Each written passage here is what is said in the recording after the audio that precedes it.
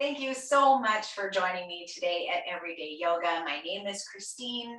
My pronouns are she and her. I'm practicing today with my daughter on Zoom, and we're recording this session for our chair video series on the Everyday Yoga YouTube channel. So we're going to start today by grounding. And if you've um, heard the term grounding before, but have not been sure what it means. I wasn't sure really what it meant when I first heard it, or if you're new to the term, it literally means bringing your awareness to where you are contacting the surface that you are on. So today we're sitting in a chair, our feet are on the floor, Maybe you are barefoot like me, or maybe you are wearing socks, or you even prefer to wear shoes. Just be wherever you are and notice the contact of your feet on the ground underneath you. And maybe your feet are on a mat like mine, or maybe they're on a hardwood floor or linoleum. Maybe they are on a rug carpet. Maybe you're really lucky and they're in the sand or on the grass. Just notice, maybe with your eyes closed, if you feel comfortable doing that. Notice the sensation of the soles of your feet. Notice the feeling underneath your pinky toes underneath the next toe over, middle toes, the second toe from the big toe. And then press the big toe gently onto the ground or into your soccer shoe. Just notice all the toes. Maybe press the toes down onto the floor and lift the toes up to the sky, spreading them nice and wide, allowing a little bit of air to circulate between the toes. And then one at a time, place the pinky toes and the next toe over down on the mat, and then the middle toes, and the next toes, whoops, and then the big toes. And it might be hard to individualize each of those toes because typically we kind of use them all together, but allowing them to be their individual toes, recognizing them for the essential parts of our body that they are. And then bring your attention underneath your heels and the contact of the heels on the floor beneath you whatever is between you and the floor, maybe something to the outside edges of the heels, to the inside edges of the heels, maybe to the very backs of the heels. Maybe to the entire round little circular kind of egg-shaped pad of the heel and where it comes towards the middle of your feet. And then press fully onto the outside edges of the feet, the toes, the heels, and all of the foot that's in between those two halves of the whole. And then to the inside of the feet, Maybe you need to really press the knees towards one another to press into the insides of the feet. Maybe roll the feet a little bit in and out, kind of like an old Charleston dancer. Crisscross like that. I'm not quite sure how that goes. Maybe even take the hands and do that a little bit, rolling the feet from the insides to the outsides. And then come back to stillness. And then press into the palms. Maybe rub the hands up and down the thighs a little bit and notice the contact between your palms and your fingertips. And whatever surface you're rubbing them on, maybe it's jeans, maybe it's sweatpants, something in between. Maybe it's maybe you're wearing shorts and it's your own skin. And just notice how that feels on the palms and in the fingertips, where there are literally thousands of receptors for touching.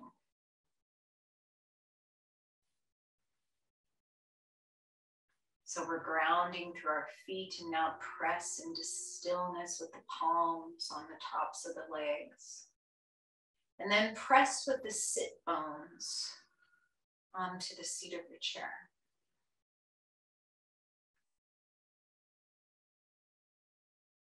Just notice the support of the chair underneath your buttocks, underneath your tailbone, the tops of the thighs. Really press into the hands, press into the feet, press into the seat, and draw the crown of the head and the tips of the ears up towards the sky, finding length in the spine, letting those elbows be heavy, drawing the shoulders away from the ears. Bring your awareness now to the base of your spine, where the tailbone either touches or comes close to touching the seat of your chair. And then take that inner gaze, that inner eye for a journey up along the spine.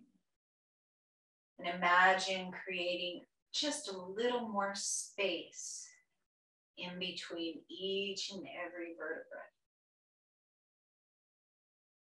Pressing into the hands, pressing into the feet, shoulders drawing away from the ears, crown of the head drawn up towards the sky. Space in between each and every beautiful pearl of your spine holding you up straight in all your dignity, in all your worthiness, in all your light, in all your love, self respect, confidence, lifting the heart and bringing to it all a sense of courage. Courage being uh, derived from a French word that means heart literally meeting things with our hearts. Not from a place of fear, but from a place of love. Pressing into the feet, pressing into the palms, letting the elbows and the shoulders be heavy as you lift the heart and lift the crown and lift the ears towards the spine. Finding yourself simultaneously supported from underneath and drawn from up above. Inhale here, filling up the entire body with fresh, fresh oxygen. And then let it all go out the mouth with a sigh. Backing off, maybe 20, 30% of effort from that really extended seat to simply be at ease in the body here. Focus on the heart. Inhale, imagining you're drawing that air in through the heart space. And as you add, exhale, imagine exhaling from the heart. Receiving with love and offering with love your whole essential being is love.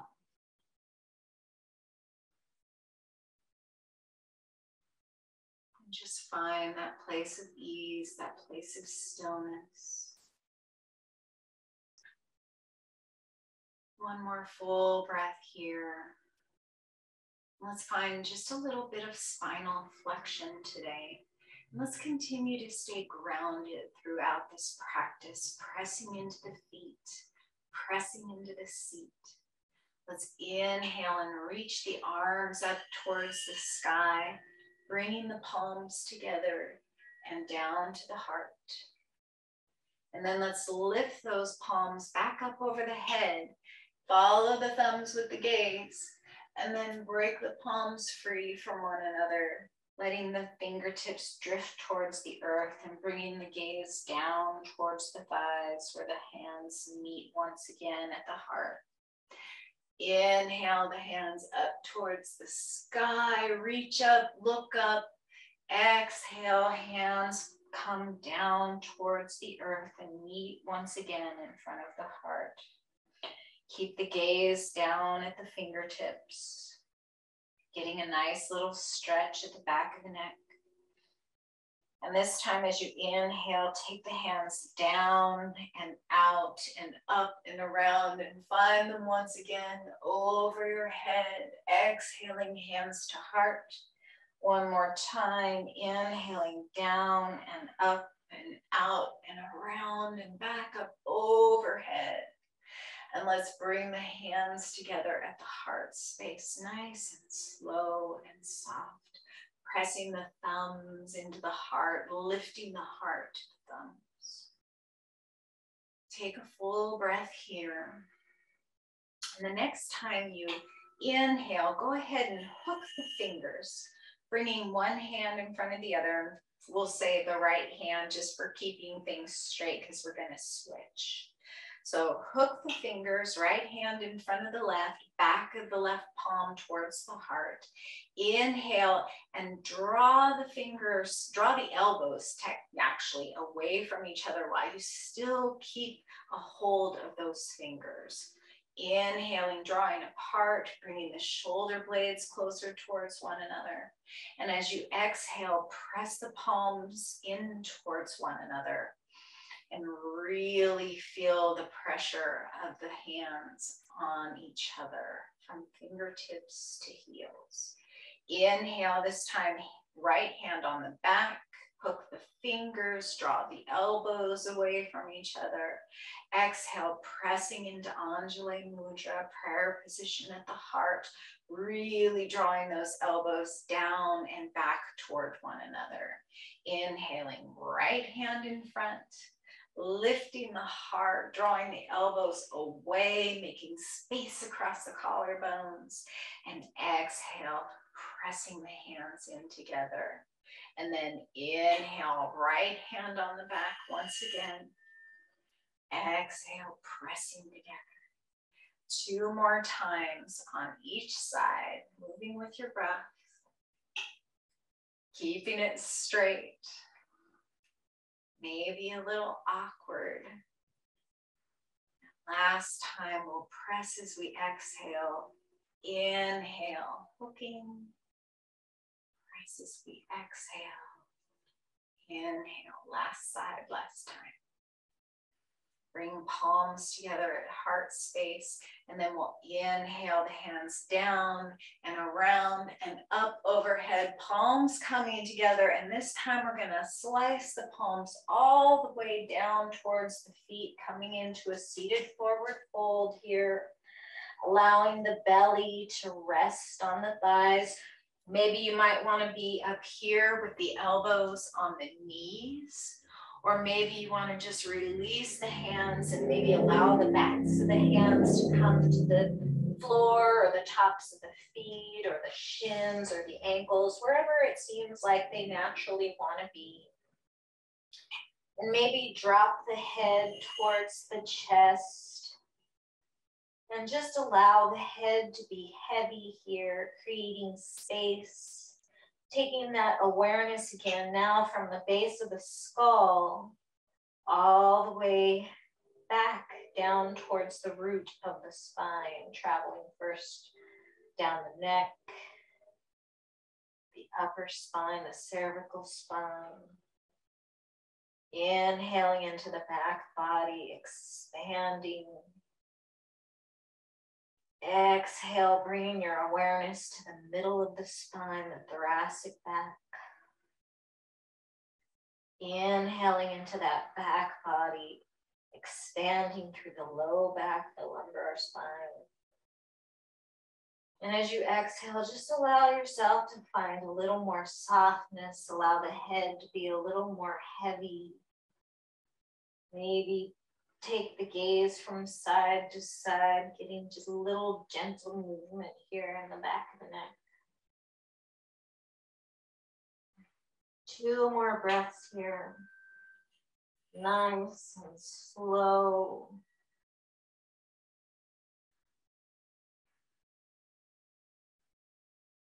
And then we'll go ahead and roll up, taking the awareness to the base of the spine, one vertebrae at a time, rolling up, unfurling like a new blade of grass, rolling up one vertebra at a time to greet the sun, reaching the arms up alongside the ears, bringing the palms together and down at the heart center. Let's find a little side to side motion in the spine, inhaling the arms up overhead and maybe steepling the fingers, interlacing the fingers and allowing those index fingers to extend up towards the sky. Find length in the spine here as you inhale and as you exhale, tilt very gently over towards the left, just a little bit, finding space in the right side of the body here, grounding down through that right sit bone as you reach up to the sky through that right fingertip. Nice and long through the right side body. The next time you inhale, come back to center and exhale over towards the right side body or towards the right getting stretching into the left side body, pressing down through that left hip bone, pressing down through the seat of the left buttock there, reaching up through the fingertips, getting long. One beautiful line from the sit bone up to the fingertip. The next time you inhale, reach up towards the sky and exhale to break away. And then we'll bring the palms together again at the heart center. We'll get just a little bit of a hip opening here as well. So either cross the right ankle over the left or bring the outside of the right ankle to the top of the left thigh, coming into a figure four stretch. So if this is uncomfortable for your right hip, keep the ankles crossed down here at the bottom. But if you can get into that, kind of make a little adjustments for you so you can really be pressing into that left foot, supporting the right leg, pressing evenly into both sit bones, drawing the crown of the head back up towards the sky. Letting those elbows and shoulders be nice and heavy flexing through that right foot to engage the tendons around the knee, keeping the knee nice and supported and safe here. And then let's go ahead and open up the arms towards the front as if you're holding a pizza or a tray of cookies or maybe a birthday cake. Maybe you're offering this tray to somebody Maybe somebody is offering it to you. Just reach out in this giving, receiving position with the hands. And then maybe extend the arms just a little bit more, drawing those pinkies towards one another, making space in between the shoulder blades. Let's inhale here and reach forward, hinging at the hips, keeping a nice, tall, straight spine here. And notice what you feel in the right hip. Find your edge, inhaling length, exhaling to deepness. But only as deep as your edge is. Don't go beyond that. The last thing we want to do is hurt ourselves doing yoga. Don't want to do that. This is a um, an activity, a body-based modality that you can come back to until you're well over a hundred. So don't push beyond pain. You might notice a little shake in your arms here, a little bit of heat building up. Notice what you feel in your palms in this offering, receiving position here. And then we'll inhale, lifting the hands to the sky, bringing the palms together.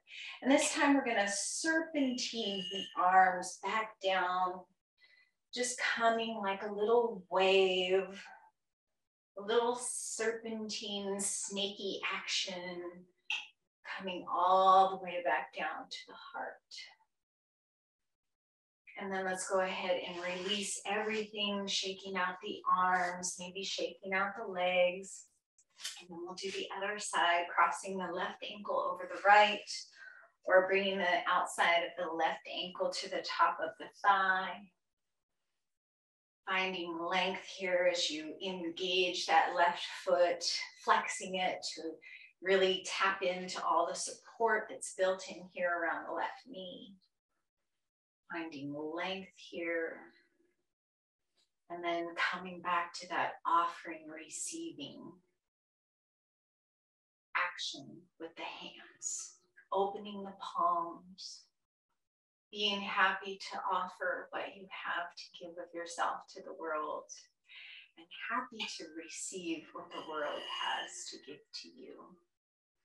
And then reach those hands forward and hinge forward as you inhale. Find length in the spine, drawing the heart forward first. And finding depth as you exhale, or maybe just a little softness. Notice what you feel in that left hip. Notice what you feel in the arms, the shoulders, the hands.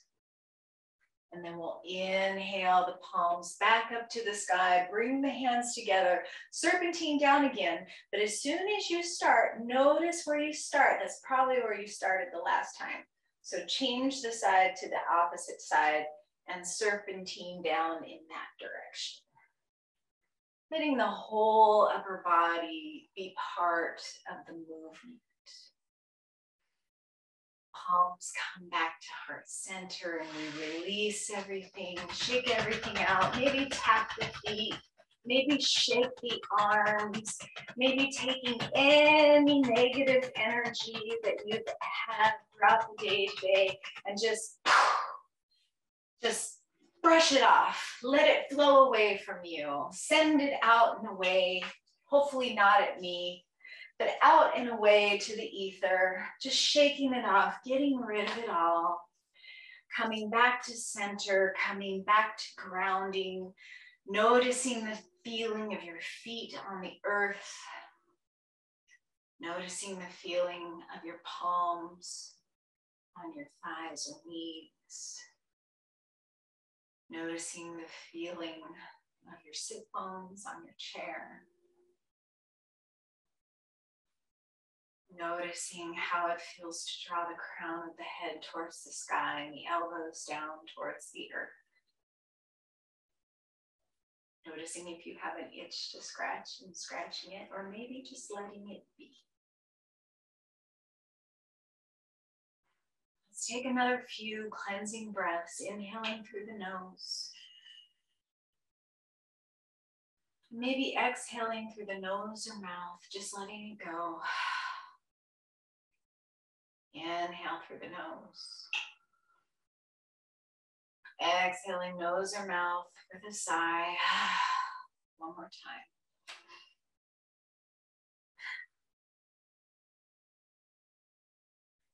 And scan your body.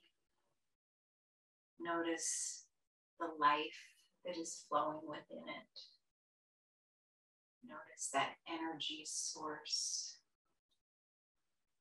Notice the feeling of being you, your skin, your muscle, your fat, your skeleton, everything that everybody else on this planet has.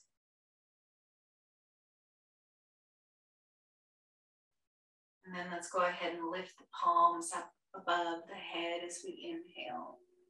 And draw the hands down to the heart as we exhale lifting the sternum to the thumbs, pressing the thumbs to the heart.